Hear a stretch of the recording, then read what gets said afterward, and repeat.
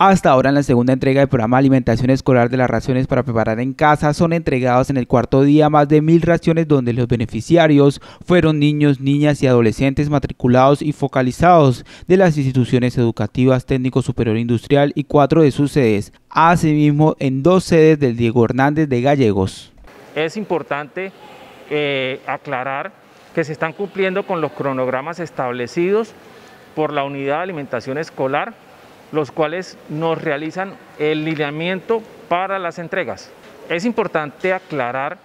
que la focalización se realiza con respecto al sistema integrado de las matrículas, la cual nos arroja los, beneficiarios o los estudiantes que están matriculados, ante lo cual eh, las instituciones educativas a través de un comité de alimentación escolar en cabeza del rector de la institución educativa realizan ese proceso de focalización cumpliendo con unos criterios que nos determina la resolución 29452 del 2017. Algunos de esos criterios, el principal